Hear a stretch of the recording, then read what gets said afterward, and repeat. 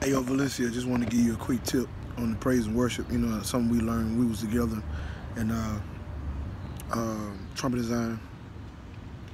When the Lord was telling you, don't don't pump, right, number, uh, don't pump and prime the people that you know, some doing praise and worship. When they, you see, just observe the atmosphere.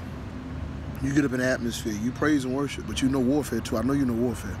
Whatever you see, tear it down and let and let God and start just flow. Let the Holy Spirit take you, flow, back into worship set that plateau with the worship. Cover the atmosphere, the ozone layer, troposphere, hemisphere, stratosphere. You know what I'm saying?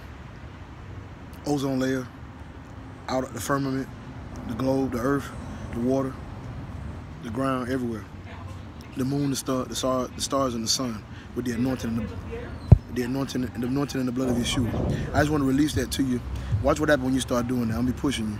Something powerful can take place. I'll see you later.